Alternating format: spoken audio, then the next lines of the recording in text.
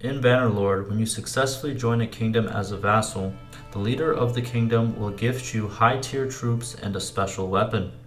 Each kingdom has different troops and weapons to give, apart from the Empire kingdoms, which all give the same troops and weapon. Now I'm going to show you what you will receive from joining every kingdom in the game as a vassal. The timestamps will be in the description, and like always, enjoy.